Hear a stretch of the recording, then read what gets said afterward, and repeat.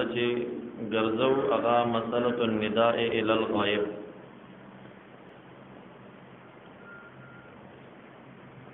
پاکستان کې دا ډیره معروفه ده ډیر مسلمانان په مساجدو کې په گاډو کې د شعار او د نخ د پارا یا رسول الله یا محمد لیکي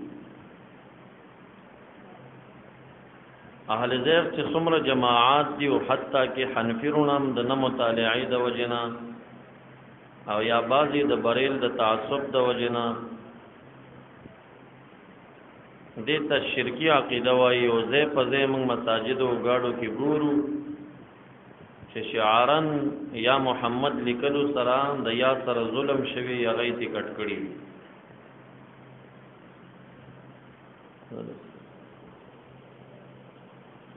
نو اولا دې مسله کې تفصیل ذکر کوم چې دا پڅو الفاظ سره د غندا غائب تکیږي او څه حیثیت لري او بریلی حضرات دیم دې ته متوجی شي دا ټول په یو مسابت کې نه دی دا د یا غائب ته دا आवाज په څو طریقو باندې د نبی اکرم صلی الله علیه وسلم په اسم مبارک کې او یا په صفت مبارک کې به دغه د یا استعمال او د هغه قسمونه ذکر کو یو الصلاة والسلام علیک یا رسول الله غایب چې نبی اکرم صلی الله علیه وسلم دی د یا आवाज ورته وشو خو صلوات او سلام ویل شي پنیت د حضور خارجي جسدي سره نه بلکې پنیت د حضور علمی سره چې دغه ویون کې د صلات او د سلام په خپل د ذهن په کوټه کې رحمت عالم حاضر کی متصور په ذهن کې او دی ورته مخاطب شي چې السلام علیک یا رسول الله دا الفاظ ویل جائز دی به اتفاق العلماء بین العرب والعجم وبین الدیوبندیه والبریلیه دې کې څه چام څه نزاع نشته چې الصلات والسلام علیک یا رسول الله پنیت د حضور علمی باندې چې ذهن کې متصور شي او مخاطب شي جائز البته بریلی حضرات دا شعار ګرځول دي دیوبندیان بازی نه وای بازی او سره تعصب کوي دي ته پنجابي درود وای نو دې الفاظو ته پنجابي درود ویل ظلم دی دنن نشپک سو کال وړاندې علامه سمهودي تیر شوی دی او وفا الوفا باخبار دار المصطفی کې ندا مسله راوړم وفاء الوفاء باخبار دار المصطفی کې هغه دا ذکر کوي چې صلات او سلام پر رحمت عالم باندې لستل کیږي بصيغتين په دوه صيغو سره صيغه الغياب و صيغه الخطاب یو د غیاب صيغه ده بل د خطاب صيغه ده هر چې د غیاب صيغه ده هغه د الفاظ دي چې صلی الله علیه وسلم هر چې د حضور او د خطاب صيغه ده دا وفا او الوفا سلورم جلد درې سوا نه تل یختمه صفحه باندې دا ذکر کړي چار چې د خطاب صيغه ده نو داغه الفاظ دادي چې اوایي الصلات والسلام علیکا یا رسول الله نو وايي دا دواړه جائز دي سواء کان قریبا منه او نائیا عنه که سړی د روزې سره قریب وي او که د روزې نه لري وي نو ویلې شي چې الصلات والسلام علیک یا رسول الله دا صرف دغه شوبه د دې د فکم چې وای دا پنجاب نه راغلي درود دی نه دا فقانه په عرب عجم کې معروف دا زمنګ استاد ټول فقها دا مونږ ته تعلیم راکوي د آداب او زیارت المصطفی تعلیم سره راکوي چې مونږ به ودریږو نبی اکرم صلی الله علیه وسلم ته السلام علیک یا شفیع المذنبین السلام علیک یا رحمت للعالمین دا ډیر الفاظ زمونږ دی عالمگیری زمونږ بحر الرائق زمونږ شامی دې ټولو راخستی په آداب او زیارت المصطفی باب زیارت النبی کې د الفاظ لیکلي البته که یو وهابي دا خبره کوي چې دا الفاظ په حدیثو کې نه دی راغلي ناغه ته دا ویل په کار دی چې تمانځ کې کم تشهود کې او د بخاری د عبد الله بن مسعود تشهود چې دا معروف دی او جماهیر په قائل دي چې تشهود دغه دی چې عبد الله بن مسعود نقل کړی دی نو باغی کې الفاظ څه شی دی السلام علیک ایها النبی سلام دی پتا باندې یا نبی دا څه شي دا خو ستا تاویلات دي چې دا خو حکایت من الله تعالی زنقل کوما کتا حکایت من الله او که تمم تسل د وسلمو تسلیما د سره یې نه بیا او دې دې کې صحابه کرام څه فرمایي یا رسول الله عرفنا السلام علیک یا ایه الذین آمنو صلو علیه وسلمو تسلیما امر راغله امت لرا په صلات او په سلام باندې ددې تشهد د تعلیم نه بعد صحابه عرض کوي عرفنا السلام علیک مونږ پتا باندې سلام الفاظ او پیژندل چې هغه دا دي چې السلام علیک یا رسول الله کیف نصلی صلات بسنګ وایو د درود ابراهیمی تعلیم ورته ورکړه په دې ځای باندې شامی بحر الرائق تحتاوی دالی کی چې کله مصلی دې ځای تراشی چې السلام علیک ایها النبی دې به انشاء کوي اخبار بنه کوي انشاء بکی ایجاد د مالم یوجد احداث د مالم یحدث د بوای دلتا ځان تب نبی اکرم صلی الله علیه وسلم متصور کی زدر باندې سلام ویم اے د الله نبی دا نه چې د حکایت من الله تعالی کوي او دی په ځکه دلته انشاء کوي چې دی ممتثل د امر د باری تعالی شي چې وسلمو تسلیم کده اخبار وکي نو اخبار خو د عبادت نه عبادت نه دی تا تداقیم الصلاه امر متوجه دی او ته پنځه ټیمه مون نه کې او د غلام حضرت مولانا د مانزه قصې خلکو ته کې ته ممتثل جوړي الکه ته په دې امر عامل جوړيږي امتثال څه ته وي عمل بل امر ته وي ته په دې امر کله عامل جوړیږي تا ته د اقیم الصلاه امر متوجه دی او ته زما د مانځه قصې کې ته د جبرائیل علی السلام د امامت قصې خلکو ته کاوه ته د محمد مصطفی د بیت المقدس د مسجد دغه قصې ورته کاوه نو ته ممتثل په جوړي نه جوړیږي الا بد اقیم الصلاه عامل جوړیږي چې په خپل دا عملو کې ته مو سوچ وی ګوره دی دا غلط تعویل دلته کوي دا خو اخبارا عن الله تعالی دا خو مون حکایت کو چې ته حکایت په دې ځکه کې نو ته ممتثل د وسلم او تسلیمانه زکا چې اخبار د عبادت نه چام عبادت نه دی ګڼل خاص کر په اوامرو کې چې درجه د فرض او د وجوب لري اغل ته حکایت او قصه د عبادت د سره عبادت نه ما زر کرتی درود وی په ما لس زر رحمت نازل شو تا زما د درود حکایت بل تو کا پتا دو رحمت هم نه نازلی پتا دوم نه نازلی ته خو حکایت د درود نه کوي کنه ما سلام وی زم متصل د وسلم او تسلیم ایم ته زما د سلام قصه بل تکونه ته خو متصل نه جوړیږي کنه کله چې دې دې ته تراشي چې السلام علیک ایه النبی تا ته دغه آیت متوجی شي چې وسلمو تسلیما اوس کته منشی صاحب د انشای او مخبر نه خو ممتثل د امر تا سلام واچو تا په آیت عمل او کته دلته حکایت عن الله تعالی قصه وکړه نو بیا دلته څه تصور کوي مونږ دا تصور کوو چې دلته راشو نبی اکرم صلی الله علیه وسلم د خپل ذهن کې راولو وایو رب کریم مونږ ته امر کړی ستا په ذات باندې سلام نو السلام علیک ایها النبی سلام دی پتا باندې یا رسول الله پتا دی سلام یا مونږ مونږ داسې وایو وهابیان دلته څه تصور کوي دلته چرورځي یا رسول الله زه در باندې سلام نه وایم ځکه بې غایب ته د یا واز راځي شرک لازمیږي فقط رب کریم حکایت کوم چې هغه در باندې ویلې او زه تشقی سکوم نو دا به څنګه ممتصل د وسلم او تسلیماش دا به څنګه ممتصل جوړ شي نو که څوک وایي چې دا سلام په دې الفاظو ثابت بالحدیث نه دی نو ثابت په حدیث دغه کې شته کنه تشهود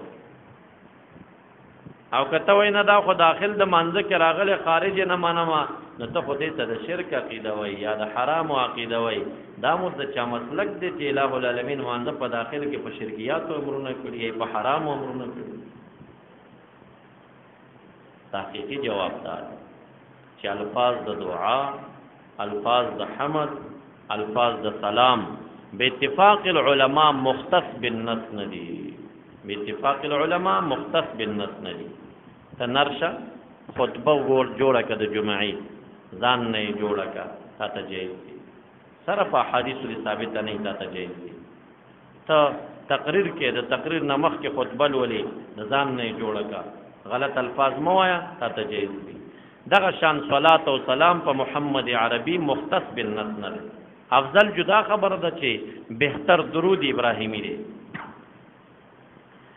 خو ته په خپل الفاظو کې پر رحمت عالم باندې صلوات سلام ویلې شي دا شان الفاظ د دعا دي دا مختص بالنص نری ته چې دعاګانې کې نه دا ټولې دعاګانې په حدیثو ثابت دي کله ثابت دي ته په پښتو دعا کې ځان نه لګیای چاته ته بدعتي ویلې چا په گریوان کې نیولې چې الکه دا دعا خو نبی علیہ السلام د څه نه وکړي تاولې کړي نو جواب څه شه دی الفاظ د دعا مختص بالنص نه دي ته د ځان نم کولې شي دا شان ته دا تاسو چې تقاریر کوي همدا وهابیان چې د جمعې خطبه لولي دا هر خطبه د مختص بن نص په حدیث مونږ ته وخایي دا هر جمعې پورز چې دی خطبه لولي یا هر وهابي چې بیان تپاسيږي او تقریر نه مخکې خطبه وایي نحمده ونصلي على رسوله الكريم یا دین اقوا تنور الفاظ وایي دا ول ثابت بل حدیث چې څه په دې الفاظ نو دې جواب بس شي الفاظ د ثنا مختص بالنص نه دي ته د ځان نم جوړولې شي دغه شانته صلات او سلام الفاظ چې دي دا مختص بالنص نه دي که په نصر علی فبها یعنی ته د ځان نه جوړ کا او چې د شریعت د اصول مخالف نه ته ویلې شي هغه نو اولن السلام علیک یا رسول الله نس نه ثابت دی که ثابت نمشي چرتا نو دا الفاظ د دعا د صلات د حمد مختص بالنس ندي هغه کې یو سړی خپل الفاظ دې توضع کولی شي فاتح شو دغه وجزیه چې یو سړی به دیو بندیت په مینه دومره مسوي چې هغه بوای چې دا د پنجاب نه راغلی نه ما نه ما هغه ته ما د الله مسمحودي جواب ورکړ چې دا شپږ سوه کاله وړاندې مویلی شوی دی چې السلام علیک یا رسول الله هغه ته ما د عالمګری او د شامی جواب ورکړ چې هغه آداب او زیارت المصطفی کې د السلام علیک یا رسول الله الفاظ ذکر کړي نیو الصلاۃ والسلام علیک یا رسول الله دا بهترین درود دی دا هغه درود دی چې یو عظیم سبب د ازدیاد د حب د مصطفی دی کله چا په زړه کې د رحمت عالم مینه کمه وي او غواړي چې زما زړه د نبی اسلام مینه زیاته شي ورکې نو دا دی په صحیح حضور باندې د الصلاۃ والسلام علیکا یا رسول الله دا ورته شروع خو په حضور باندې رسول الله مبارک چې دلته ذهني حضور ورکي او مخاطب دي شي هغه ته به دی ګوري ما چې کلم په کمال حضور سره دا شروع کړی دی نو ما ذات د محمد مصطفی صلی الله علیه وسلم بیا خوب کې کتل دی سره الحمدلله یولس کرتی ما د نبی اکرم صلی الله علیه وسلم ملاقات په خوب کې کړی دی الہ العالمین دې موږ تاسو ته بار بار نصیب وګرځي اوس ډیر وخت کیږي چې ورک شوی دی دا خوب نه پوهېږم چې ولې الٰه دې بیا هغه سان حال راولي چې د نبی اکرم صلی الله علیه وسلم په خوب کې دیدار او سلام موږ تاسو ته نصیب شي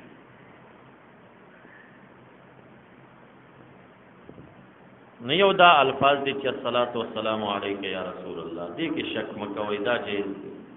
او که یو سړی وای نه بس دیوبندیانو نه دی ویلی نو هغه د پاره موږ د دیوبند په کتابونو کې معاصرینو کې مولانا حمدالله جان دا جوی سے پیش کو چې په البصیر کې دا الصلات والسلام علیک یا رسول الله ویلو ته مستحب ویلی دغه نه چې لګ ورمخ کې شنو هغه د پاره موږ مولانا زکریا صاحب شیخ د دا جوی سے پیش کو چې هغه په تبلیغی نصاب په فضایل درود کې الصلات والسلام علیک یا رسول الله ته مستحب ویلی نو بس دا د دیوبند چې کوم د دیوبند په مینه مستی کفا بهم قدوه دې پسې دې اقتدا وکړي که نه دې پسې دې اقتدا وکړي که دویم یا رسول الله صلی الله علیه وسلم دا الفاظ دغه شان جایز دي لکه مخکې الفاظو کې چې کوم تفصیل ما وکړ فقط الت صلات او سلام مقدم یا رسول الله مؤخر او دلته یا رسول الله مقدم صلی الله علیه وسلم مؤخر یو معنا تاسو دې معنا تم لګورې کنا یو می تړي ما ته وی دا صلات سلام څنګه دی نو هغه ته مې په معنا یې پويږي په معنا یې نه پويږم خو خلکو را تشکه چول مې د دې دا معنا ده چې رسول الله مبارک به د ذهن کې راولي او بوای چې د الله رسول پتا دي درود او سلام وي مې تک علم نه لري عقل خو لري کنه ویاو مې ته دې عقل کې سوچو کچې دا تا خبر او کړه کبه دا خو سم خبره ده نو دې کې څه شرک دي څه ګناه ده پدې او کته دا وایي چې الکه یو چاته حضور ذهني ور کول دا شرک دي به خو دا ټول مصنفین کافر کړو تاسو ویلي دي دا یا خو د خطاب د پاره استعمالیږي خو شرط پدې کې رؤیت او حس بصری یو اهل لغت هم نه دی ویلي دیوال نه چا خو یو سړی د حس نه غایب تور ته یا ویلې شي کنه یا زید افلانه ویلې شي نو یا کې خو خطاب دی لیکن حس بصری په مخاطب کې چانه دی شرط کړي په یا کې او په هاذا کې څنګه دی واحد مذکر محسوس بالبصر ټول شرط کې کنه شرط کې دی صحیح او دا خطبو کې چې کله مقدمه کې راشي اما بعد بهذه اما بعد فهذه الرساله دا فهذه دا فهذه چې دا هر مصنف وای تاسو په اعتراض کوئ کنه چې کتاب خو نشته دا هذه چا ترجمه کوي دا خو د واحد مذکر محسوس بالبصر د پاره جواب څه شي کوي جواب دا کی ودا هغه مرتبه ذهنی ترازی دا د کمال تیقن د علم دا مصنفنا په ما سیاتی رساله باندې هغه معقولی په مرتبه د محسوس ګرځول او د هاذا اشاره ورته کوي نو مرتبه ذهنی کې یو چاته حضور ورکول ته د هاذا اشاره جایزه شو کنه شو نو چې هر کله په هاذا کې حس بصری شرط او مرتبه ذهنی حضور ته د رجا روا شو نو پیا کې حس بصری د سره شرط هم نه دی کنه په یا کې خو حس بصری شرط نه دی نو بیا پکې حضور ذهنی ورکو د یا خطاب وکړ ورته او کنه دا بم شرکی چې رسول الله مبارک په ذهن کې تصور بم شرکی اعظم بالله دا بم د چارای چې رسول الله مبارک به اوس موږ په ذهن کې نه راولو ځان لپاره بیا باغی ته خطاب هم نکول نو یا رسول الله صلی الله علیه وسلم او د الصلات والسلام علیک یا رسول الله دا څه فرق نه لري فقط یو کې صلات مقدم دی بلکې خطاب مقدم دا یو شان روایت دریم یا رسول الله فقط چې صلی الله علیک وسلم وسونه ویلې شي نو یا رسول الله فقط دا دوه قسمه یو شعارا دا بل نداء دا شعارا دا روا ده نخې د پاره چې نخه وګرځيږي چې دې مسجد والا کمیټه دی خلک ګاډي کې نخې د پاره راوړل شي نو شعارا یا رسول الله بدون د ندا او د مطالبه نه جائز د مطلقاً دلیل به پیراشي او یو یا رسول الله نداء او رسو دا غینه الفاظ مذکور نوی صلات نوی نو دا چغه دا بلا فائدې نه هیڅ فائدہ نه لري چغه دا بلا فائدې ولی په هر ندا کې مقصود بالندا ذکر شرط دی او د مقصود بالندا نه دی پس یو سړی وی یا رسول الله معجزتا نبی علیہ السلام ته ورسیدل هغه واوریدل هغه تا ته مخاطب شه سغواړي امتی امتی لالا ځان نم نه خبر امتی لګرستو بیا چغه کی یا رسول الله هغه بیا ورته متوجی شي سغواړي امتی امتی بیا سنوي نو چې دریم ځل دا چغه وای دا په تمسخره کې دا خو بیا مسخري شوي که وره یو شعار اندې ښا شعار مستثنا غبیل شي یو نداء اندې نو نداء ان رستو به مطالبه د شفاعت ذکر کې بیا چې مطالبه د شفاعت هم نشتا صلات سلام هم نشتا او محض یا رسول الله نو دا به فائدې چې غدا د دې څه فائدہ به نشته او یو یا محمد یا محمد هم دوه قسمه یو شعار اندې او بل نداء اندې یا محمد شعارا دا جایز دی په غزوه د یرموک کې یو څلوېښت زره صحابه او تابعینو شعارا یا محمد ویلې حواله راځي او یو ندا ان دی نو ندا ان یا محمد د اخص الخواص د پاره چې محمد اسم ذات عالمی و نخلی په معنا د استایل شوی صفتی معنی واخلی جایز بشي په بعید تاویل سره خو نه دا ان قران کریم منع کړی دی چې نبی اکرم صلی الله علیه وسلم لا تدعوه مبلې دلرا پشان د بلن استاس بعض بعض لرا د دې تفسیر ابن عباس ابدا کوي چې لا تقولوا یا محمد یا محمد موای ځکه دا بی ادبی ده لکه ته چې یو چا نوم ته आवाज کوي الہ العالمین دا نبی اکرم صلی الله علیه وسلم داغه مخلوق دی هغه خالق دی او دی عابد دی هغه معبود دی الہ باندې د رحمت عالم قدر او احترام خو نشتا خو امت ته تعلیم ورکي کنا تمام قران عظیم شان کې نبی اکرم صلی الله علیه وسلم ته یا محمد आवाज نه دی دا امت ته تعلیم ورکي دی هر رسول شتا یا هر نبی شتا خو یا محمد نشتا کته وای کوم جماعتونو گاډو کې چې لیکل شوی هغه شعار دی هغه ندا نه ده ګوري هغه ته ناروا مو وایا هغه شعار دی داغي منادي خود سره لا معلوم نه دی چې دا ندا چا کړی ده او په ندا کې مقصود بن ندا ضروری وي هغه څه غوښتي دي اسم پاره کې نه هغه نه خدا او د نخې د پاره یا محمد ویل چې کم دی هغه به جایز دی د بلنې او د ندا په نیت باندې به دی دا یا محمد یو شعارا بل نداء نداء بی دبی د بیا او یا رسول الله نداء چې وای تب ذکر کې کدی ذکر نکړه به فیدې چغره او کچر ته شعارن وینو بیا یا محمد امرواله یا رسول الله امرواله دا نه چول ما بیان کو اس کته دلایل ته کوشش اول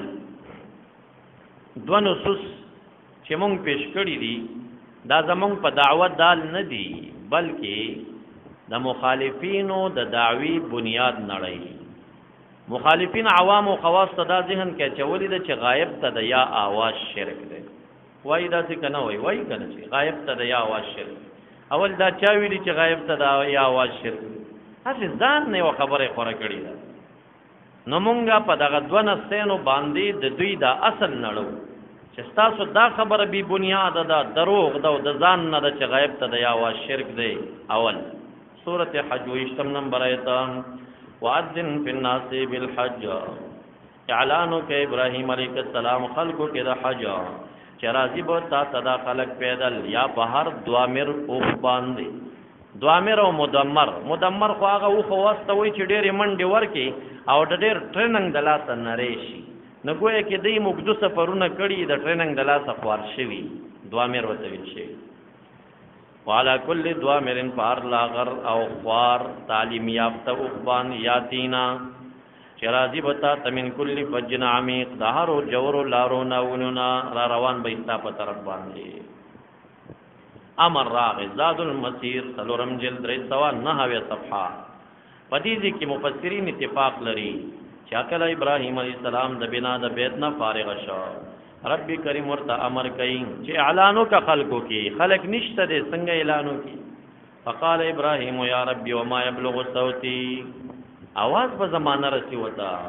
قال اذن وعلي البلاغ وک اعلان رسول پمادي فعلا پرتش جبل دبي قبيس توي ويل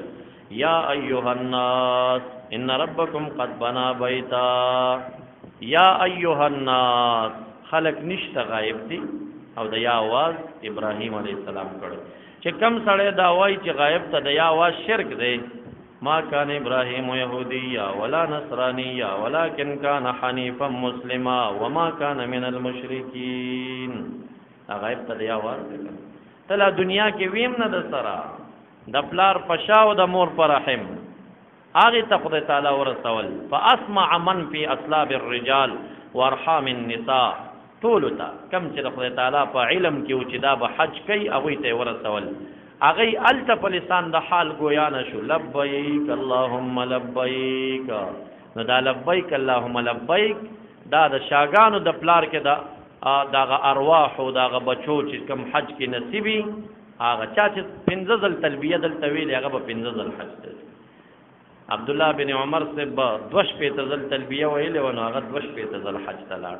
چې چا څومره ځل ویلې دا غومره او چې چا نه دا ویلې کنه ک بیت الله شریف سره په مکه معظمه کې اوسېږم حج به نصیب نه ما ته یو کس حکایت وکړ ولس کال هلته تیر کړیو وې زمون کفیلو او هر کال ورته مونږ وی چې راځه دا حرم کې اوسېږي مکه معظمه کې نږدې پراته و مکه معظمه خپل مکیو پیزه کال تبو کم کال تبو کم مرشو حج ونه مکه معظمه کې اوسېږي او حج نه کوي نو دا ولی چې دا غ روح لبیک نه دی وی نو دا موږ د دوی اصل اونړو چې کم سړی وای چې غایب ته د یا وا شرک دی او زمونږ په دعوه دالم دی ځکه خلک نشته او د یو حناس आवाज دکړه دی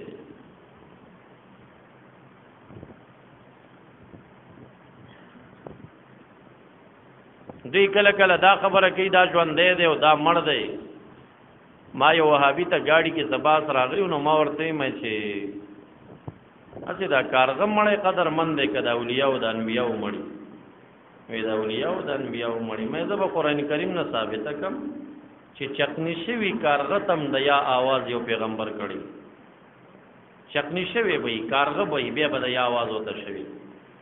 نو به مدایت ورته پیش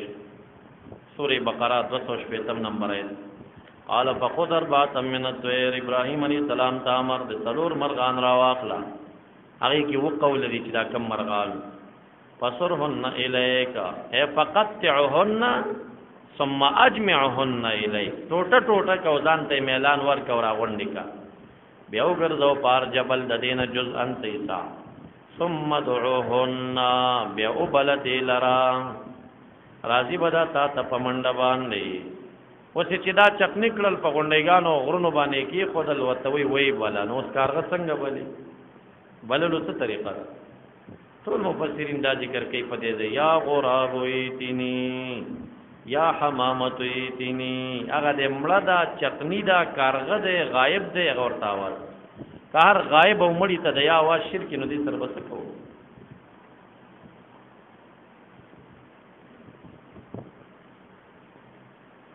باړه کې په اف ام باندې ما د یا رسول الله په موضوع بیان کړی نو دا مې ویلو او دا ډېر بیا د بقوم دی شاکر منیر سره نور لار نه و زما د ادله او د جواباتو التمانن الدلائل مسلسل په یاد باندې بیان کې پیش کړیو نو التا په سبا ورځ باندې د زما د خبرو جواب کړي ډېر معقول جواب یې وکړو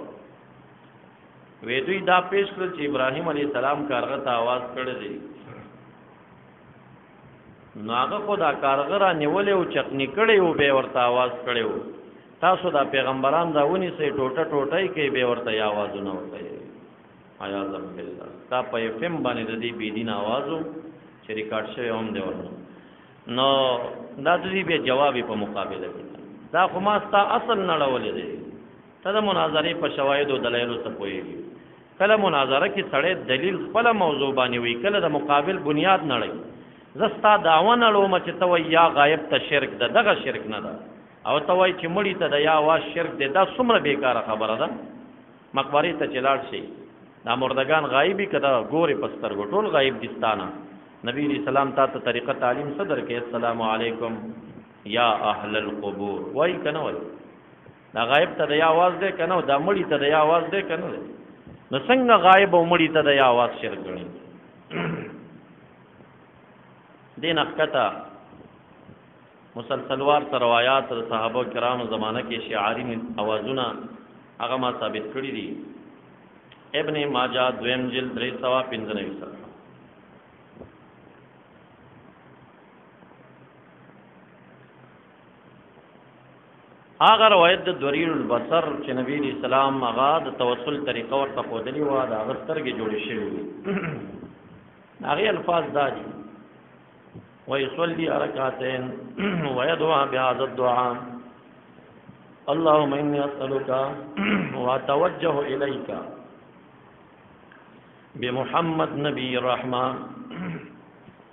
یا محمد انی توجهت بک الی ربی ایک دا الفاظ دی یا محمد یا رسول الله زتا مقام کوم رب بلدا او دې ذکر روایت د مستدرک مونږ پیش کړو د توسل په باب کې چې دا دې صحابي په محضر د نبی علیہ السلام کې نه ویلي بلکې دی وته او دس یو کا منځ یو کا زکا راوی وایي چې ما طال من الحديث من لا خبرې نه ویو دې کړي چې هغه سړی په مونږ را دن نشه نو دا را دن نه کېدل دلیل د دې او قدب سره نظر جوړو چې دی وتلې و بهر نو د نبی علیہ السلام نه غائب دی یا غیاب د دیوال نه خو او یا غیاب د پاکستان نه لري خو غائب خو شو کنه هغه مخامخ خو نه دی ناشته او د یا محمد انی توجهت بک الی ربی وای او بیا دغه الفاظ په وخت د عثمان ذنورین سے دور خلافت توسل باب کې ما پیش کړیو تاسو ته چې اغلتا راوی د حدیث اغا بل صحابي تداخای عثمان بن حنیف چې هغه ته د الفاظو خودل چې د سې الفاظو آیا ستا مشکل به پوره شي هغه ال تبیا دا ویلی چې یا محمد انی توجهت بک الی ربی دا هغه ځکه نبی اکرم صلی الله علیه وسلم دنیا نه تللی د دا الفاظ دروازې په خوا کې نه دی ویلي بهر ویلي دي هغه نه ثابت دي دا حدیث معجم الصحابه سلورم جل یوصل اتتل صفحه کې راخسته و زیادت د لفظ د یا محمد انی توجهت بکثر ترمذی کې لفظ د یا محمد نشته خاصه کوم دا د ابن ماجه نه پیش صحیح ابن خزیمه دویم جلد یو سل پنځه صفحه کې زیادت د لفظ د یا محمد ورکې دي مستخرج التوسیع دویم جلد څلور سوه اووه څلوېښت صفحه مستدرک للحاکم اول جلد څلور سوه اته پنځوس صفحه معرفت الصحابه اتیمه صفحه مسند عبد بن حمید اول جلد یو سل اووه څلوېښت صفحه مسند احمد دویم جلد دوه سوه پنځه صفحه دا ټول دا ذکر کوي چې الفاظ دا دي چې یا محمد انی توجهت بک البته که توای چې دا خو مخ کې وویل چې دا خو آیتونو کې منع راغلی ده نو دا غینه به یو جواب دی ممکن دی صحابي دا आवाज هغه وخت کې کړی چې کوم وخت کې دا آیت نو نازل شوه چې نبی علیہ السلام ته داسې دعوت مور کوي لکه خپلو کې چې یو بل تور دا هغه وخت کې شوی یو دویمه دا ده چې الته یو قید ما ولګاو کا خص الخواص دا اسم عالمی عالمی نه غني صفتی معنا ته یړی او عالم ویو په دې پویږي ناغه د پاره به جرم نه دی کنه یا محمد به په معنا د صفت کړی شي وی سره خسته دا بعید تاویل کو کړی شي نو به جایز کیږي او کنه اسم ذات عالمی شي او یا به دا خصوصیت د دغه صحابي شي نبی علیہ السلام دا حق خود رسول الله دی په امت باندې چې هغه به ادب کوي یا محمد بنی یا نبی الله یا رسول الله بوای او دې صحابي ته خپل دا خود دي دته خپل خود دي بس دا خپل حق دور ته معاف کړی دی کنه تعلیم ور کړی دی دویم روایت ته مسلم تمجل معرب بیروته 200 ود صفحه رسول الله مبارک چې مدینه منوره ته راځي اے دا غلطه دشتو کې را روان دی او دلته د مدینه منوره خلک راوتلي دي فصعد الرجال والنساء فوق البيوت سړی او زنانا د کوټو د پاسه او خطل وتفرق الغلمان والخدم في الطرق واړه ماشومان او غلامان په لارو د قبا کې سره خوار شو ینادونا چغې وهلې یا محمد یا رسول الله یا محمد یا رسول الله دا خو صحابه وکړه دا خو محبتو دا د محبت دا نه دا دی خو دلته څه غوښتې نه دي کنه دا سر محبتي आवाज دی سی غخت نه دی ندا نه ده دا د محبت د پاره دوی د आवाज کړي دي د جلوس په شکل راوتلی دي یا محمد یا رسول الله یا محمد یا رسول الله بریلی حضرات چې ربیع الاول کې کم جلوس وباسي شاید کې دا پیش کړي شاید کې دا پیش کړي دا چې شاید تر کم ځای مطابق دی نه دی خو بیا هم یو اصل خو لري چې یاره مونږ هم دغه خوشحالي کوو هغه مدینې منورې ته راغی په خوشحالۍ کې دوی د یا محمد یا رسول الله نارې وهلې دي او مونږ چې دنیا ته محمد مصطفی نعمت راښکاره شه مونږ هم په خوشحالۍ کې د یا محمد یا رسول الله نارې وه یو شاهد یو اصل دی یو ځای نه راوېسته اخذ یې نه وکړه دریم الاربعین په تصوف اول جلد پنځمه صفحه عمر فاروق رضی الله تعالی عنہ واقعا دا د جمعې پرز په خطبه ولاړ دی او چغه وهي يخطب فجعل يسيح چغه وهي يا ساري الجبل يا ساري الجبل که غائب ته د یا وا شرک شي عیاذم بالله د ساریه په دی وخت کې نو نه هاون نو می مقام کې دو میاشتې فاصله لري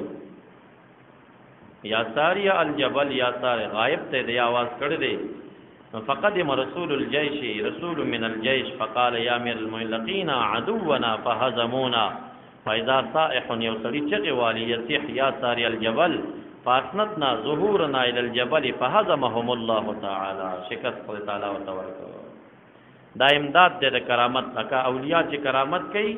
او اولیاء چې مدد کوي کرامتن داغه دغه شکل وي کرامتن مدد شوی دی داغه سره خو غایب ته د یا आवाज ته ثابتېږي بشوري فتاوا کې دا را خسته دی ویلي چې دی حدیث ته چا ضعیف ویلې حق ته نه رسیدلی خو هغه څوک چې دلته کشف مزعون ګمان کوي باطل دی وی هغه څوک چې وایي چې دلته عمر فاروق ته کشف شوی وو وی دا باطله خبره ده وی دا اصل د زړه کې رااله چې وچغه وه دا زړه خبره دا د دې مجتهد دی دا واقعا د جمعې په خطبه په وسط کې اصل چې غوال دا خو د لیونو کاری دا څه خبره ده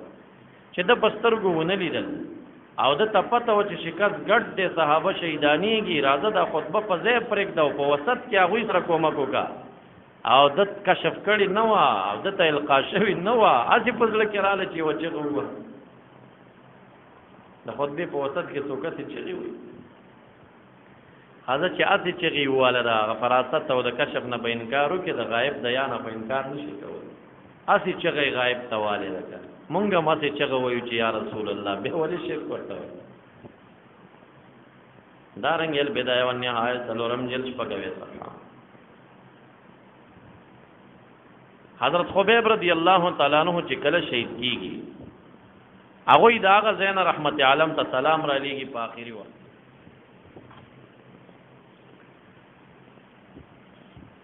نبی اکرم صلی الله علیه وسلم مدینه منوره کې موجود دی وفي مغازي مصعب بن عقبه بن خبيبا وزيد بن الدثنا قتلا فی یوم واحد په یو ورځ شهیدان شو وان رسول الله صلی الله علیه وسلم سمع یوم قتلا وهو یقول د نبی علیہ السلام نه اوریدل سمع د نه اوریدل شه په ورځ چې دی شهیدانې دل د مبارک فرمایل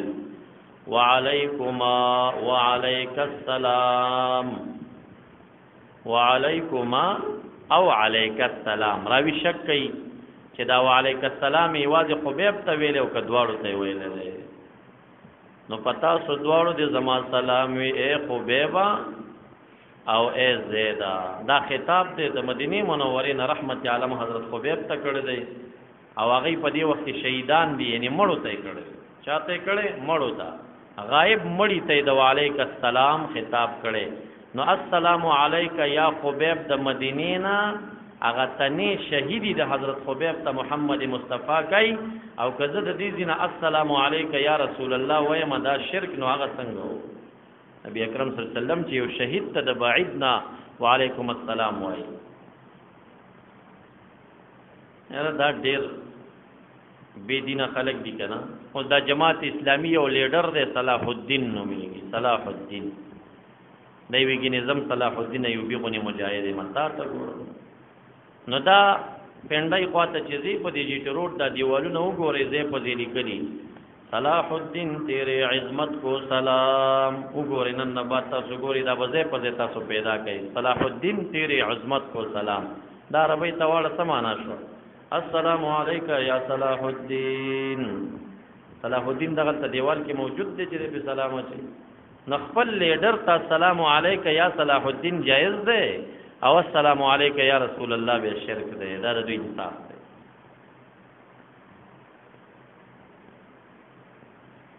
دارنګ مغازی د واقعي اول جلد 314 صفحه بیبی فاطمه الخزاعیه صحابیه ده قد ادرکت چې دی صحبت د نبی له سلام درکړې ده تقول دی وایي رأيتني وغابت الشمس بقبور الشهداء وما يختن لي دې زمانہ کې بزنانه شهدا او مزارات ته تللی دا دلیل دی ور باندې اوس چې مونږ منع کوو هغه د فساد وجه ده ما تخپل ځان را یادېږي چې نور را باندې پریوته د قبرونو د شهدا او د احد سره او ما سره زما خور وا د شهیدانو سلام ته تلیو ما الترا باندې ما خام شو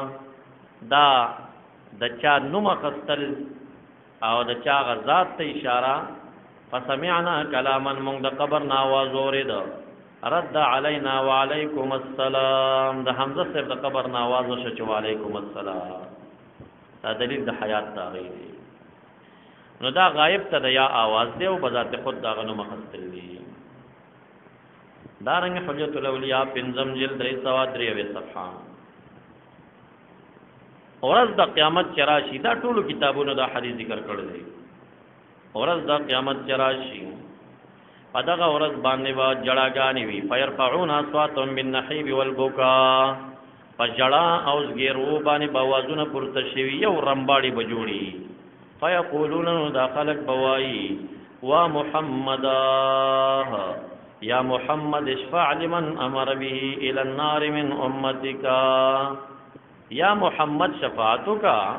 هغه چاته چې ستا امت کې داغي باره کې امر د جانم شوی دی هغه ته شفاعت وکنا اوس دې ځکه نبی اکرم صلی الله علیه وسلم مقام محمود کې دی دا لکاو کروڑا او خلق تب په کم سر کې دا ټول بل تر چغي وهي وا محمدا یا محمد وا بي بم چغي وهي او که خوا کې یو معلوم وا بي ولاړو او یا محمد چغي واله یو خطه تونه تل تم پورته که خې پرم باړو چې تا خو به دا شرک ګڼل اوس څنګه چغې وایي دا دارنګ عمل اليوم والليله د ابن السنيه والجلد درې سوا نن سمه صفحه بل سند سره ذکر کوي قال كنت امشي مع ابن عمر رضي الله عنه دا عبد الله بن عمر سب سر روانو ما فقدرت رجله خپي زخمی شوا بډای شوا فجلس نو دې کېناست فقال له رجل چا ورته وی اذكر حب الناس اليك تا ته چې کم څوک ډیر ګران یا غرا یاد کا فقال دو فرمایل یا محمد فقام فمشى پای خش روان شو مصدق حدیث ادب مفرد کې امام بخاری عمره خسته دی ښا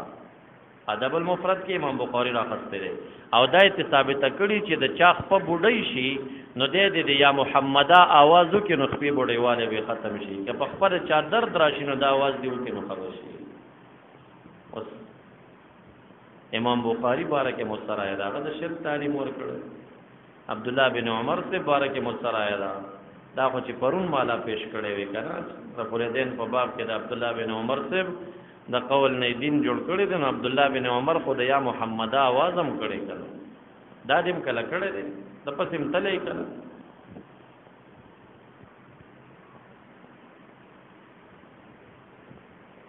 دارنګ البدايه والنهايه شپږم جلد 350 صفحه جنگ یمامه چې د مسلمه کذاب سره شوی وو پدې کې د خالد بن ولید هغه زړورتیا ذکر کړي ثم وقف بین الصفین ودع البراز صفن من کې ودرې د اعلان کوي پهلوانې تروزه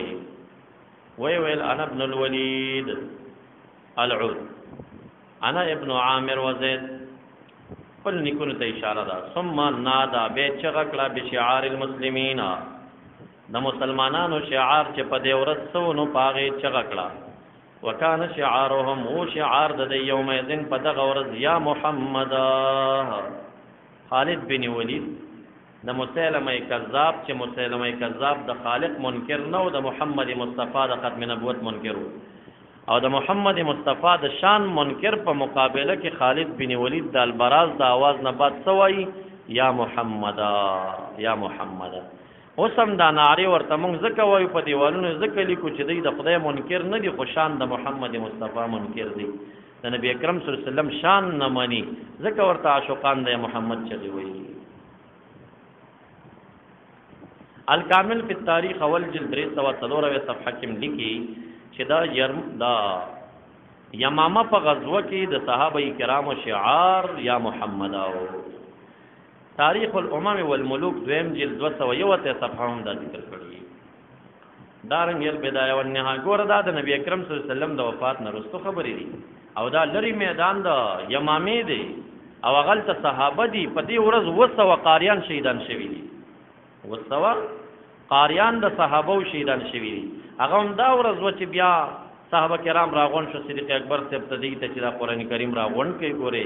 خبره په قاریانو ګرميږي او شهیدانيږي سبب قران کریم د مخ د دنیا نه لاړ شي نو دوی مجبور شو د قران کریم د جمعواري کوشش وکړي نو دومره صحابه جمع غفیره صدیق اکبر عمر فاروق دا غونې اشخاص پکې موجود دي او د دې په مخ کې شعار د مسلمانینو د یا محمد اده ګوره څه غفتل شوی نه دی ښا صلات سلام نشتا مطالبه نشتا دې ته ندا نه وای دې ته شعار وای تاسو ته ما وویل چې یا محمد د شعار په نت جایز دی په ګاډو کې لیکل شوی مې ورانوي جماعتونو کې چې مې ورانوي دا نه دا نه دا دا صلات سلام نه دی دا شعار دی نه خخای چې زه دا هغه جماعت نه يم چې د شان د محمد مصطفی قائل یم او رښتیا چې مونږ کوم مسجد ته لړ شو او په هغه مسجد کې دا الفاظ لیکل شوی نو بس مونږ خډا دا غسړی پسې مرستو او چې کومو کې دینه دا یا کټ شوی کنه بس مونږه ګډبډېشن کې شو چې را دې سړی کې کار شته دی خو چې پنځه څټکه دی شپږ څټکه دی یو څو څټکه کار پکې شته دی چې دا یای دې کټ کړي نه خلک دارنګ ال بدايه او نهايه وم جل یو سلو سلو رمسه زه بعض حقایق بیانوم دا کم خلک جماعت بریلې وای نو هغه دا بیان ووري دا چې ووري بچیدار نه بریلیان ووري نو هغه کې ملګرتا پیدا شي روح وځي چې با اوس وی غلام حضرت مولا اله مسلمان شه تر اوسه خو دیوبندی کافر مسوس میله به مسلمان کې پدې وای کله مې وی چې دا موضوع د سره نه چړم چې تاسو ما پدې مسلمان وای دا چړم د سره ولکه حقیقت دې د دې مسلې ته ظلم روان دی زمونږ د احنافو کې روان دی زمونږ د احناف د خاص کر د افغانستان علما چې دي دې مسله کې تحقیق نه کوي د بریل په ضد کې راشي دینه چټ انکار کوي په مجلس کې چې د یا رسول الله आवाज وکړو د ځان زاربین به مونږ شماري چې څومره گزارونه بدر باندې کی او حقیقت دا څه نه دی دا ظلم کیږي دا صحابه کرامو د زمانه نه چې کله هغه د منکر خدا مقابله کې مقابله ونه دی الله اکبر ناره ویلې د لا اله الا الله ناره ویلې کله چې د دې مقابله د عیسوي سره راغلې ده د یرموک په میدان کې چې د خالق منکرین نو د محمد مصطفی منکرینو نو دې شعار بدل کړ د یا محمد ناره دې شروع کړه او دا شند یمامه په میدان کې دې د یا محمد ناره شروع کړه دا داغه چا شعار دی چې کم څوک په مقابل د شان مصطفی د منکر کې مخامخ کیږي نو دا ناره وایي دارنګ البدايه والنهايه وم جل یو سل تلورم صفحه عام الرماده چې کله رااله د عمر فاروق سر زمانه کې عن عاصم بن عمر بن الخطاب دا غزوی قصه کوي ان رجلا من مزینا عام الرماده ساله اهل ان يذبح لهم شات چا ورته وی دا ګډ لال کا هغه ورته وی دا تن دیواله لیس فیهن شی تپکه نشته جګری ختم دی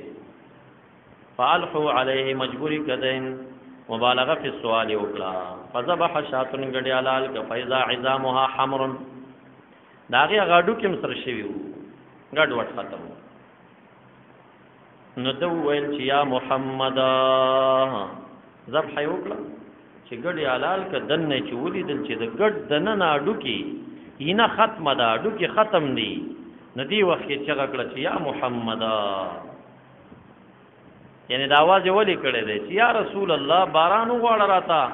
دغه حل دی چې ساروی دی حد تر رسیدلی دی فلما امسا چشپشوا نو خوب کې نبی اکرم صلی الله علیه وسلم ولیدا ورته وی ابشر بالحیات زیر قبول کا په حیات مراد د حیات نه سبب د حیات دی چې هغه وبدي جعلنا من الماء كل شيء حي کنا ایتی عمر عمر فاروق تورشا ول ول زما د خوانا غت سلام نو دا د مشکل په ټیم کې دی صحابي د یا محمد आवाज کړي دا رنګ دا تابعی دی ادا عمل صحابي کړي دی الکامل په تاریخ اول جلد سلور سوا تاوی صفحاغین دارا خستی تاریخ الامم والملوک دویم جلد پنځه سوا نه هم صفحه دارنګ البدايه والنهايه اتم جلد وتول سمته کربلا میدان کې چې کله شهیدانو شول د حضرت حسین رضی الله تعالی عنہ خور بیبي بیبي زینب بنت علی رضی الله تعالی عنها فقالت نو زینب بیبي چې اخر اخا وندبت زینب اخاها الحسین واهلها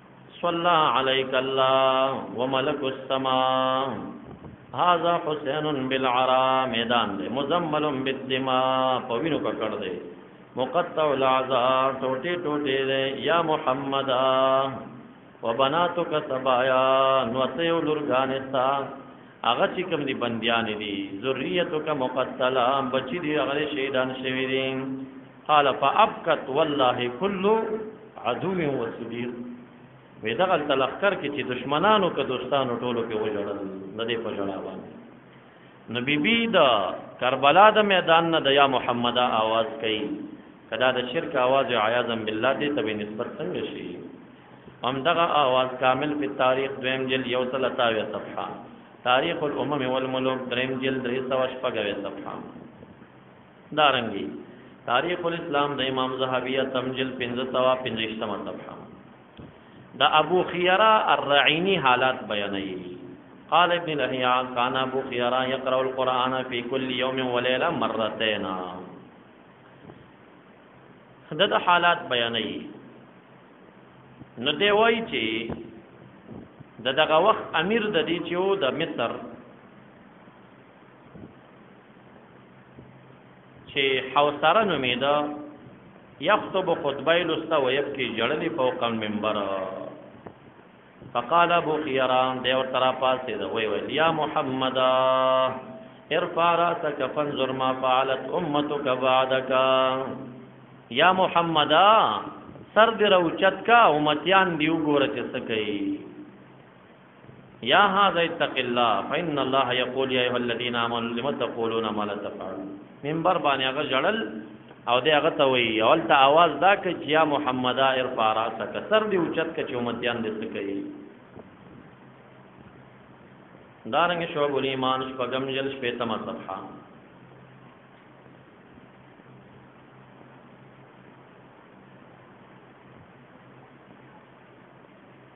ابو حرب الهلالی وایي چې حج عربي او بدوي راغی حج ته باب مسجد الرسول صلی الله علیه وسلم ته چراغي او خیال ته چوکړه فعقلها عقال او توکا ثم دخل المسجد حتى تلقبر روزي تراغي او درې د مخې د نبی علیہ السلام ته فقال بیا بیا انت امي یا رسول الله جئتک مور او پلار مې درنه قربان شه یا رسول الله راغلم تا تدرون نیم په ګناونو خطایا وباندې مستشفعا بك على ربك لانه تعالى قال في محكم كتابه ولو انهم ظلموا انفسهم جاءوك فاستغفر الله واستغفر لهم الرسول وقد جئتك بأبي أنت أمي مثقلا بالذنوب والخطايا استشفع بکا علی ربکا ان یخفر لی ذنوبی وان تشفع فی فیا تزما شفاعتو کی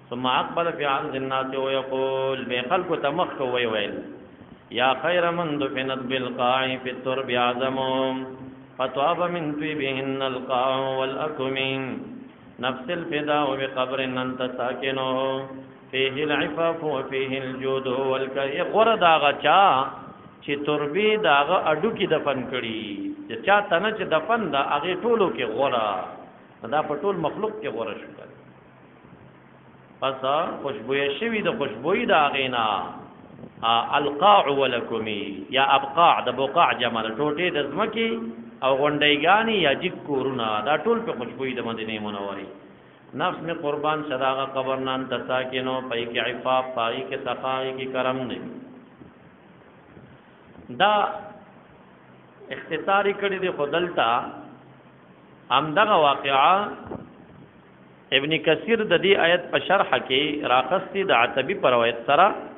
چې زما سترګې ورلې رسول الله مبارک خوب کې راغې ما ته وی چې الحق العربیه دی بدوی ته ځان ورسوا او د باندې بشارت د مغفرت وکا چې د تبخنه شوی دا بشارت ورته وکا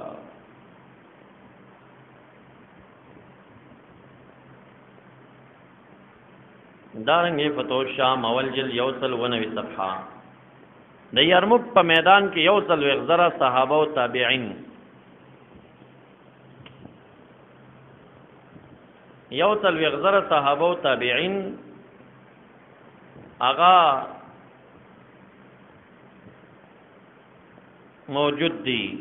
او دی شعار شعار یوم الیرموک یو عنوان دی الشعار دلته شعار سو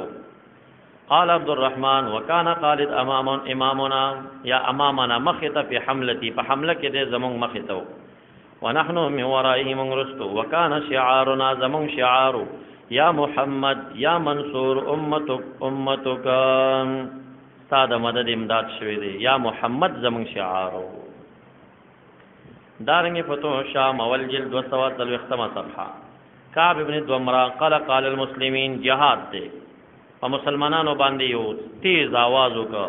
فجاهد عنهم جهاد او یجود بالرای جنډای پلاس کې تاول راته ولا وینادی چغی وهلی یا محمد یا محمد دار صحابه د جنگ په میدان کې کفار مقابله کې قومندان د جهاد د محمد ناره وی زمونږ مجاهدین هم چرته د आवाज کړي کنا دوی تم په کار دي چې د جنگ په میدان کې د आवाज اوچت کی ولی ځکه چې مقابل کې عیسویان دي کنا مقابل کې څه دي عیسویان دي الله اکبر ناره په دومره بد نه لګي لکه د یا محمد ناره چې په څومره بد لګي او دل تستا په سب کې وهابیان دي نو دا غیب هم په زړونه چوي کنا دای به موږ برابر شي ور سره تنگ بشي چې را مړه دا یا محمد چې وای دی سمونګ نه او تحریک والا به وایي چې نه کنه بیا صف کمزوري کی حکمت عملی پکار ها فتوح الشام دویم جل و مصفحه دا په دې صفحه کې د بونسا فتح ذکر کړي بونسا فتح په دې فتح کې دا وایي چې کانا شعار المسلمین تلک اللیلہ ینادونا یا محمد یا محمد یا نصر الله دا شعار د مسلمینو په دغه شپه باندې چې چغې وهلې یا محمد یا محمد دارنګ ابن ابي شيبه لسم جلد 390 صفحه ابن عباس تبراوی دی ان لله ملائکه فضلا سوا خلقه د خدای تعالی ته ملائک دي سیوا دا مخلوق د عام نه دا خاص دي یكتبون ورق الشجره چې دا اونو پانی لیکي فاذا اصابت احدكم عرجه في سفرنا چاته چې په سفر کې تکلیف را پیدا شو فلینادی چغه دی وهی عین عباد الله رحمکم الله مدد کې زما اې د خدای بندګانو الہ دې پتا سره رحم وکي هغه فرشتي چې په اوراقو د شجرو مقرر دي نو شجر خو ارزي کی کنه نو دغلته هغه فرشتي شته دي نو چې مشکل در باندې راغی وی دا आवाज وکا چاعینو عباد الله رحمکم الله زما مدد وکي اے د خدای بندګانو هغه څوک دي فرشتي دي نو فرشتونه به مدد وغواړي مدد به سره وکي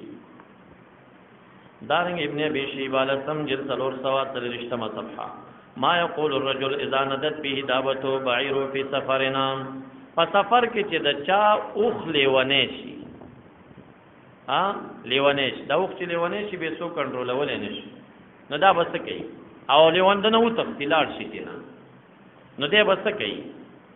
حدثنا يزيد بن هارون قال اخبرنا محمد بن اسحاق عن ابان بن صالح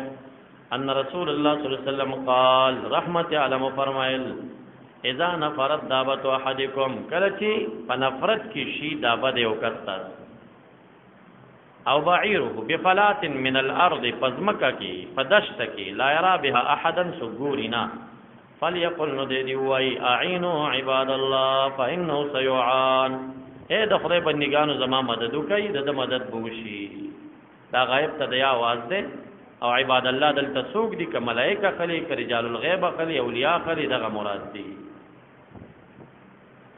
دارنګ ابن ابي شيبه دولسم جلد دا دو درشمه صفحه مالک دا روایت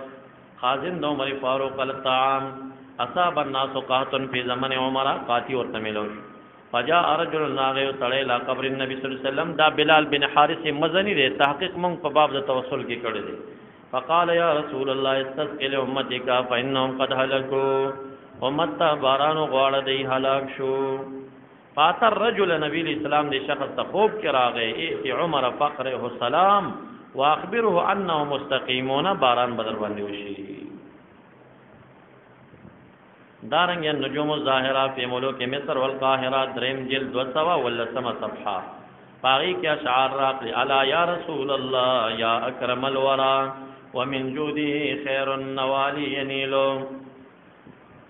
خبردار یا رسول الله اے اکرم د خلکو ستا د سخانه هر قسم انعامات حاصلېږي دارنګ شذورات الذهب فی اخبار من ذهب اول جلد 302 صفحه یا کرم الناس من عجب ومن عرب ويا ذوي الفضل والاحسان والحسب اے اکرم د خلکو پاجم او عرب کې اے ذوي الفضل او د احسان او په حسب کې دارنګ عبد الجمان فی تاریخ علی الزمان دا قاضی تقي الدين بن بنت الاعز اغا عود قضا تواقع بیانی ولما قرب آوان الحج قصد الحجاز وقد امره الى ان اتى مدينه النبي صلى الله عليه وسلم وكان قد سبق من مكه بايام واقام بالحجره النبويه نبی الاسلام روزك دلت مقيمش شو وقد صنف دلته جوړ کړه قصیده دلته یا شعار ولیکل مدح فی النبی صلی الله علیه وسلم والتزم او دای په ځان لازم کړی چې الله ان شدا الا هو واقف علی باب الحجره ډیر وګت شعرونه سل بیت لرل سل کړی او دای په ځان لازم ک چې دا خو می جوړ کړل دلته خو زبر رسول الله مبارک ته مخامخ سلام ته ودرېګم دا ورته وایم دا تاریخ چې کوم دی دا بدرالدین عیني لیکلی ښه دا ډېر عمده تاریخ دی عقد الجمان فی تاریخ اهل الزمان د بدرالدین عیني دی نو وایي چې علا باب الحجره مکشوف الراس سرلوت سر ودرېده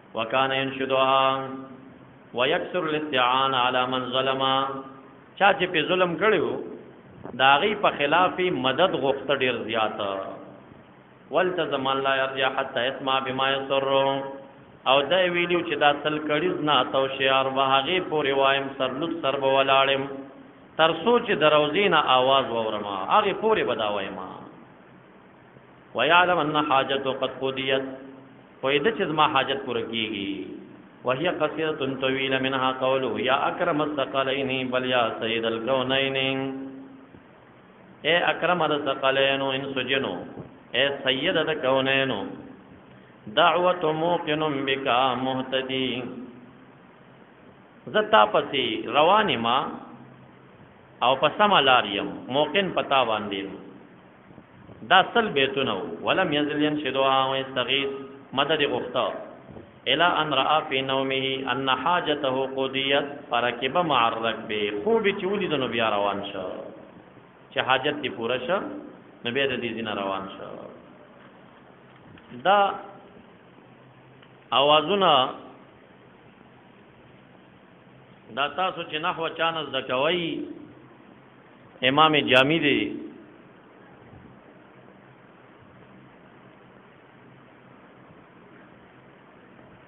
یو سړی دا سی ویلې شي کنه چې یا رسول الله به وسیله کړم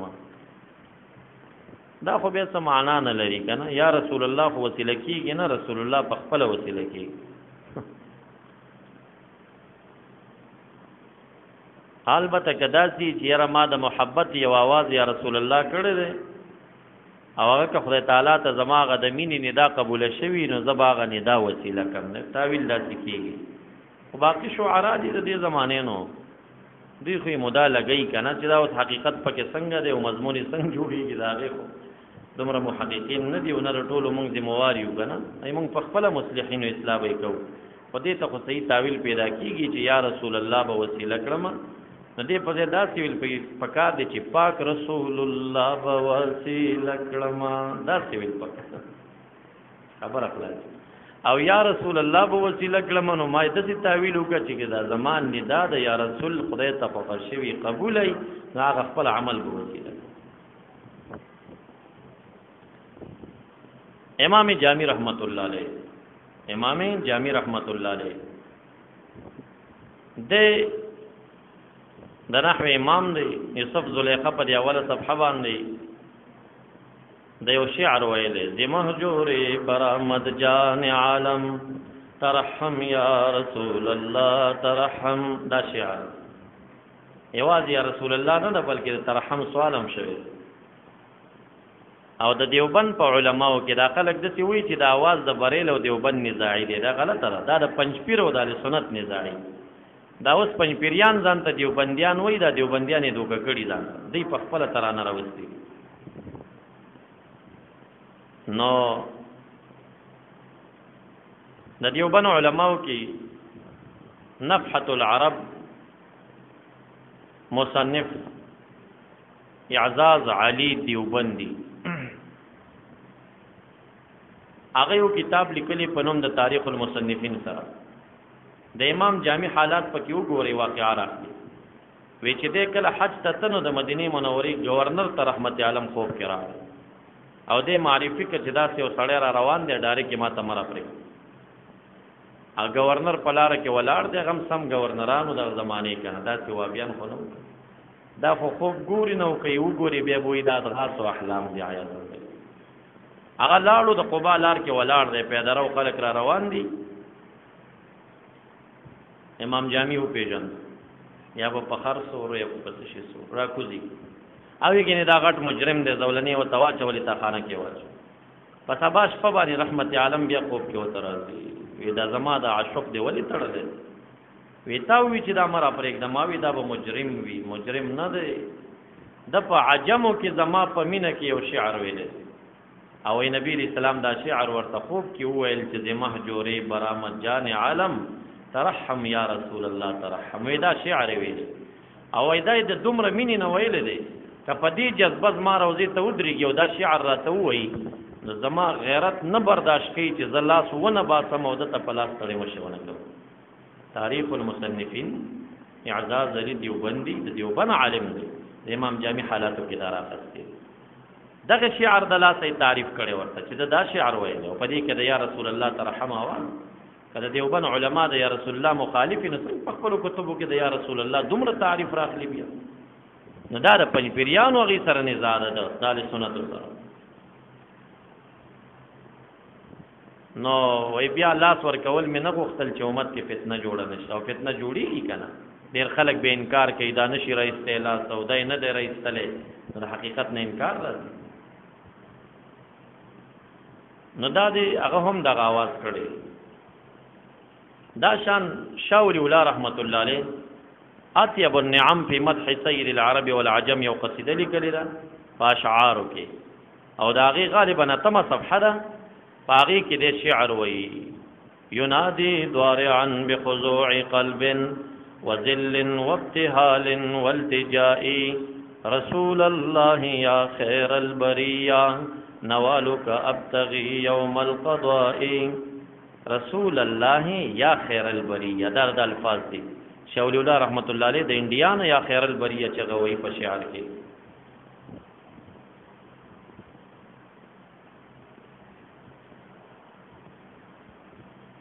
دارنګي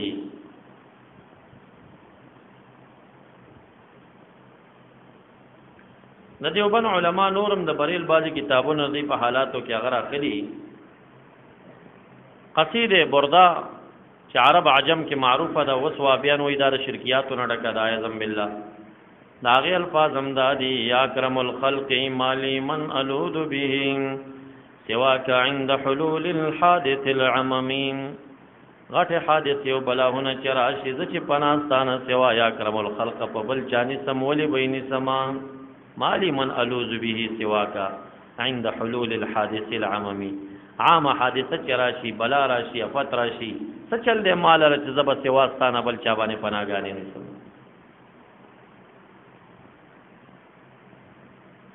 دارنګ قصیده د زین العابدین کی دا راضی یا رحمت للعالمین ادرک لزین العابدین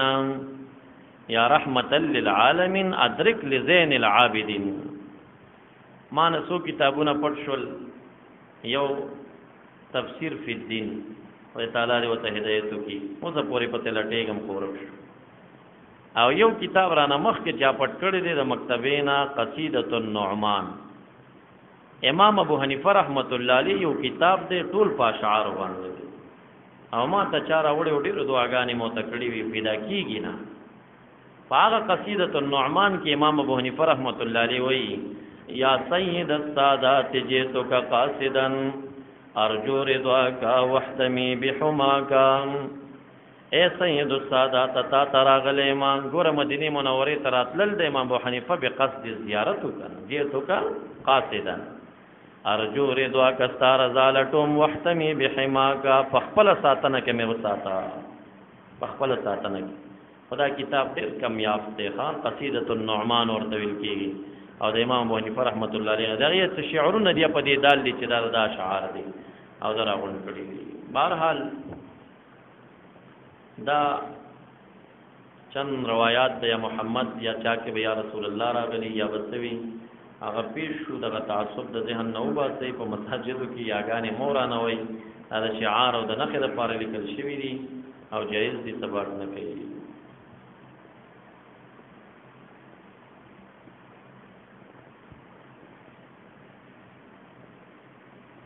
شیخ حسن جان سم نه چاته پوسو کده یا رسول الله متعلقه ویل بریلیانو ته ناجایز دی او مونږ ته جایز دی دې خبره کې کوم مبارکې ته اشاره ده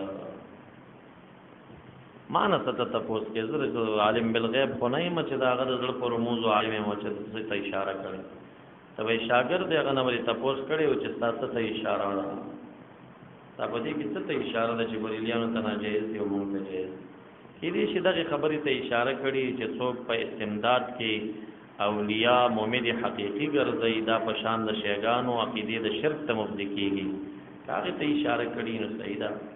دا څومره اولیاء او انویاء نه مددونه چې غوښتل شوي دا په شکل د تسبب او توسل باندې وي دا ممد حقیقی نه وي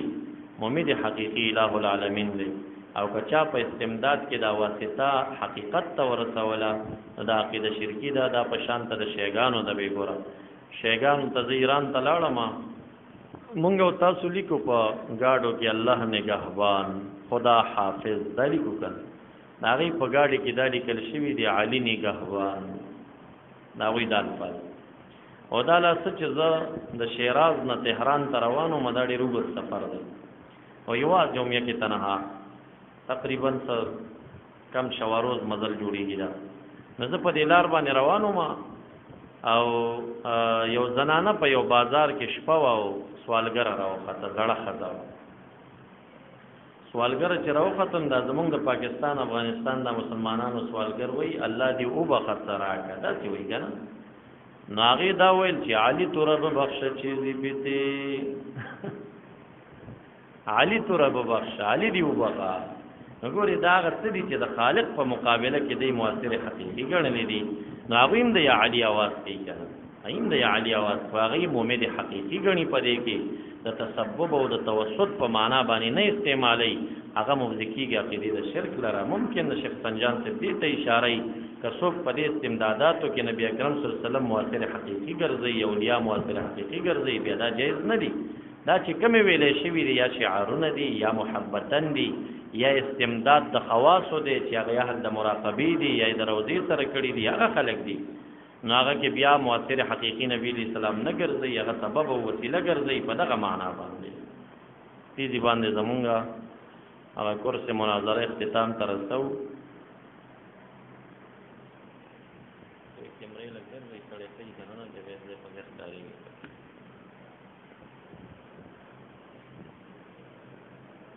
دا دې په یو ځای باندې ودرولي دا کیمره دا رستو به په ریکارډ کې خلک تنګي دا لږ ګرځوه تا د ناس نه خلک دا ګرځوه کا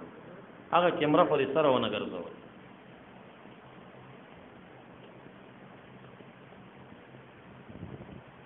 هر څه په خپل ته سړې وي دا ریکارډ نه به کټ کاوه درته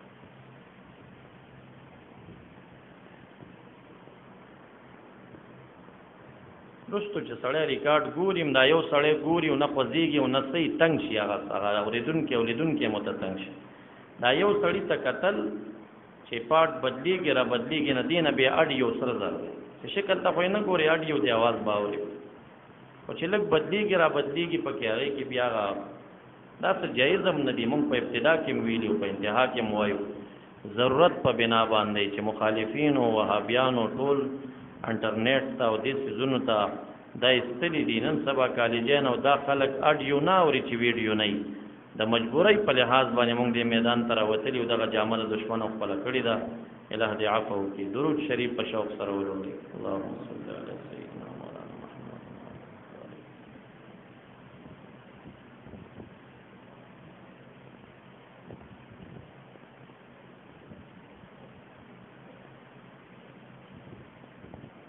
ټول الحمدلله زمانہ ویان یې او مشران یې په دغه خاص فن کې به صحیح ده چې مالک مهارت حاصل کړي او تاسو کې پوي پوي خلک شته زما د ټول درس نه جوړ دا دی چې زه تاسو نه جنگي چرګان نه جوړوم او تعصب مې مقصد نه دی او نه مې دا مقصد دی چې تاسو د مناظرین شي ګورې یو ورځ داسې و چې تاسو ته پاید مې مناظره ما پوره ردونه وکړل او د علما او اقوال ما به پیش کړل او ما دا شغل کوي ما مباحثه خپل هغه کار او وظیفه وګرځوي دې کې ته خیر نشته دی زما د کورس مناظره دا مقصد نه دی چې تاسو زه ټریننګ کم مقابله ته نه زما دا مقصد دی چې ستاسو خپله عقیده سمه شي، کلکه شي او څه مو چې زده کړل د خپلو عوامو عقیده پرې کلکه کړئ. باقي علم مقاسمه، علم مناظره دا نن سبا علم مجادله ده او دا جدال دی، دا مکابره ده، دې کې احقاق حق، ابطال باطل ته څوک نه رسېږي. کوشش یې مه کوئ، محبت ورته مه راتئ، څه ډېر ښه علم نه دی دا. فقط خپل عقیده په کلکه کوي ان شاء الله چې کوم حضرات موږ سره شرکت وکړه او د هر مسله کې تقریبا یو اتیش یا نهش مسائل بیان شو نو که بیا دته دلایل یاد منوي نو کې دي چې کده د چانه یو دلیل نیموري نو عقیده په خراب نه شي چې دا یو ورځ 15 غنټې څلور غنټې غلام حضرت مولانا نما په دې دلیل ورته عقیده په بیا نه خرابېږي ان شاء الله کنه نو کورس مناظره کې د انسان د عقیده کلکه شي د خپل عقیده کلکه شي خلک څه کوي لا يضركم من ضل اذا اهتديتم عليكم انفسكم تاسو د خپل ځانونو اصلاح لازمه ده خلق کو گمراهي تاسو په سمه دا تاسو تاوان نه درکړي دي کې مشهور مفسرین لکه عبد الله بن مسعود رضی الله عنه رايه دا ده چې دای کریمه د اخر زمانه سره ده نو دا زمانه ده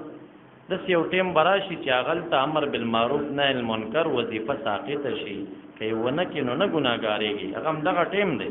نو دې ټیم کې علیکم انفسکم، ځانونه درباندې لازم دي، لا یضرکم من ضل، څوک چې ګمراه وي تاسو ته تاوان نه درکوي، خو شرط دا دی اذا اهتدیتم چې تاسو په سمه باندې نو خپله هم اصلاح او د خپلو عوامو چې کله د جومات امامان شوئ، او که خبره بې اثره وي چپه خوله بهتره وي بیا خو که اثر پې کېده هغوی ته هم دغه خپل ورقات هغه عوامو ته وایې ستاسو دیني خدمت به دغه وي چې دغې ته کېنئ پښتو یې ترجمه کوي پښتو یې ترجمه کوي په کومو نه پوهېږي هغه روایت پرېږدئ که نه ما به شل روایت ویلي تا ته به د لسو ترجمه پکې درشي په نورو کې به ونښلي چې ونښلي هغه لس خو ترجمه که پښتو ته هغه یو پاڼې په شکل صفا ولیکه پټوشته ټیکه او د خپل مقتدیانو باندې عوامو باندې تقسیم کا چې داغه په وسیله کې شک را نشي کرامت کې را نشي بل عقیده کې شک را نشي همدغه مسائل چې نزاعي دي دغه خدمت د دین او کنه یوازې خدا دین زمانه دی دا خو د محمد مصطفی صلی الله علیه وسلم شریک دین دی مونږ او تاسو سپاهین یو محافظین یو دا علم مکړه دی د پاره دی چې مونږه هغه غیر ارتته نه دفقو امام ابو حنیفه رحمت الله علیه فرمایي كنت ازب عن رسول الله صلی الله علیه وسلم خوب می ولیدا چې د رسول الله مبارک نه می زباب شړل زباب ازب دفع د زباب ته وي وی مروه را سره و پکې می ورتوالو مچان می تنه شړل هغه خوارقو کې دا راځي چې هغه ذات ته مچان راتللم نه خو خوب دی نبی دې تعبیر لټای چې دې وڅ تعبیر وي نبی ورته معبرینو دا تعبیر ورکړ چې ته به داسې یو کتاب ولیکې چې په هغې کې د نبی اکرم صلی الله علیه وسلم پسې چې چا دروغ ویلي دي هغه به ترې وشړې هغه به ترې لرې کړې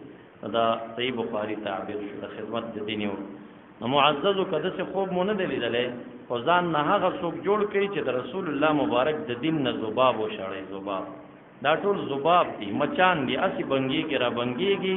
او د دین کې خلطیت په خلکو راولي نو موږ تاسو ته پکار دي چې دافعین د زباب شو دغه دین او کم چې صحیح عقیده د اهل سنت والجماعه ده د خپل عوامو ته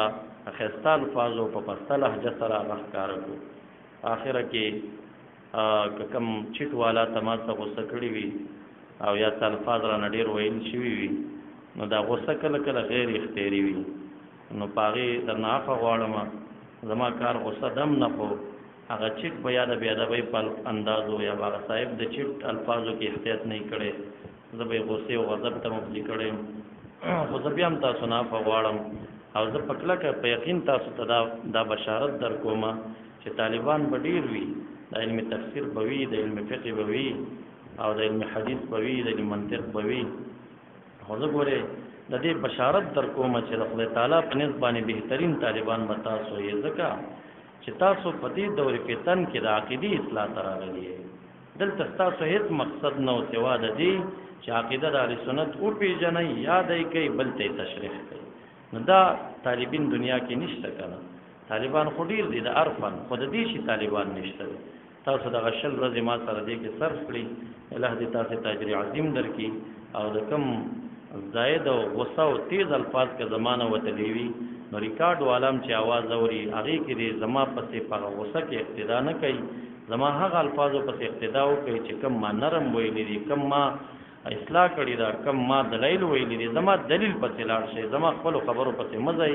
زنه مفتی ما زنه مجتهد ما زه یو مقلد انسان ما ناقل د غیر نه يم د تورې کرخې ملنګ ما نو ما چې دې ریکارډ کې ویډیو والای کا اډیو والای کا ریکارډ والای ټول سامعونو نه زمونږ دا مطالبه ده چې د غلام حضرت مولا خپل یوې خبرې پسې ملاړ نشي ځکه د مقلد دی مجتهد نه دی مفتی نه دی خو ما چې کوم حوالې درکړې عبارات مې نقل کړل هغه کتب مسلم بیننا او بین الخصم دی نو هغې پسې تلل پکار دی او هغه عقیده چې اسلاف مونږ ته بیان کړې هغه راټینګول پکار دی درود شریف په شوق سره ولولئ اللهم صل على سيدنا ومولانا محمد وآله وبارك وسلم وصل عليه اللهم صل على سيدنا ومولانا محمد وآله وبارك وسلم وصل عليه اللهم صل على محمد وعلى آل محمد كما صليت على إبراهيم وعلى آل إبراهيم إنك حميد مجيد خداوند کریم دا کوم بیانات دی مسایلو کې وشول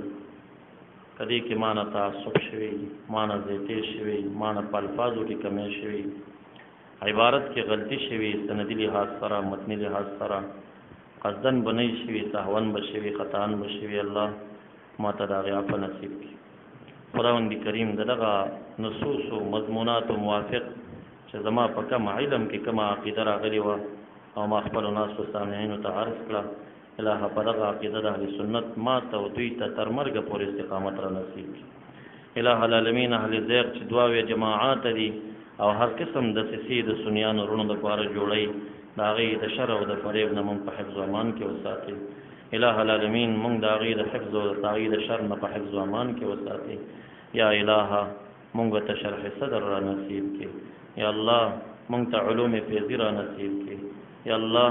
زمون قلب ته د نور او د فیض او د رحمت چینې را کولاو کی یا الله زمون قلوب ینابیع الحکمت وګرځي خداوند کریم زمون زړونو نه بیا عام مسلمانانو ته د فیض او د نور او د علم چینې جاری کی خداوند کریم حاضرین مجمع کې اکثر طالبان ناس دي دوی به د علم شایقین وي که څوک په وسط د طریق کې ولاهه منتها ته ورسي خداوند کریم علم نافع به عمل ور نصیب کې الہ العالمین علم نافع به عمل ور نصیب کې الہ علم نافع به عمل ور نصیب کې الہ هغه علم نه مونږ ته نجات را کې چې لا ينفع وي رحمت للعالمین به دعا کې ویل چې الہ پنان سمستا په ذات باندې من علم لا ينفع هغه علم چې نافی نه الہ پناه نیسم خدای دا هغه علم نه مونږ وساتي خداوند کریم علم زمونږ د پاره حجت وګرځي الہ دغه علم زمونږ د پاسه حجت مګرځي الہ مونږ ته علم قلبی را نصیبي خداوند کریم علم لسانی مونږ ته حجت کې او زمونږ د حجت نه وساتي خداوند کریم دا کوم اسلاف زمونږ تیر شوي د دین خدمت یې کړی دی د هغوی درجات بلند کړي که هغوی نه کومه سهوه خطا شوي هغوی ته معاف ورکړي د هغوی په نقش قدم مونږ ټولو ته استقامت را نصیب کړي کوم حضرات چې دلته مونږ سره ګرمي تېره کړې سختي تېره کړې خاص کر داخلي طالبان هغوی چې دی نو لوږه تېره کړې ده او ډېر تکلیف مونږ سره برداشت خداوند کریم دا ستا علم دا په لوږه کې دی په مړه کې نشته الهه د دغې لوږې په برکت باندې پوره علوم ورته ورکړي الہ په دواړه جهان یې خوشاله کی رحمت للعالمین شفاعت نصیب کی مشکلات سختۍ د ځنکدن را باندې اسانه کی د قبر تنګي او تیرې نه مو ساتي ورځ د قیامت کې د رحمت للعالمین په جامونو د کوثر اوبرانوش کې خداوند کریم په صراط باندې هغه سرعت او په تیز رفتارۍ سره پورې واسي او کله چې رحمت للعالمین د جنت دروازې زنجیر کولاوي هغه عظیم لخر کې مونږ هم شرکت نصیب کې او د رحمت للعالمین مجاورت را نصیب کې سبحان الله والحمد لله ولا اله الا الله والله اکبر اللهم صل على سيدنا ومولانا محمد وآله وبارك وسلم